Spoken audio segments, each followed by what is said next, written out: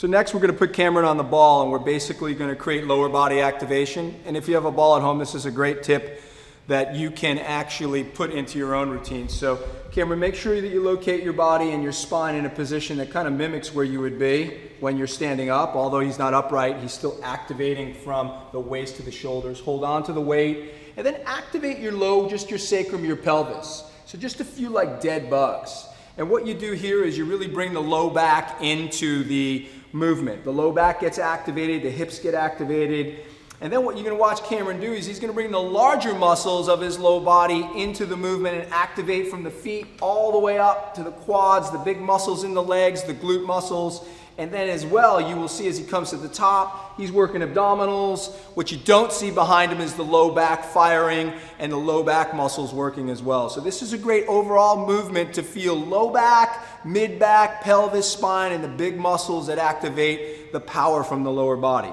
So that's good.